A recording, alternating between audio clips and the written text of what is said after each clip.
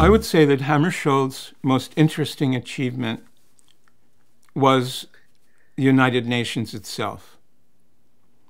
When he came on board in April 1953, it had its buildings, those beautiful buildings on the east side of Manhattan.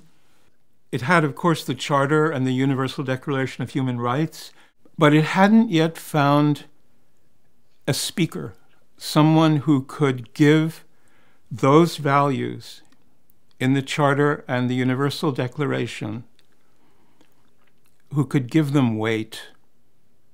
People talk about gravitas as if it were a cheap thing. It's not a cheap thing. Gravitas means you can really stand behind what you say and mean what you say and find the way to say it. And that was Hammarskjöld's contribution.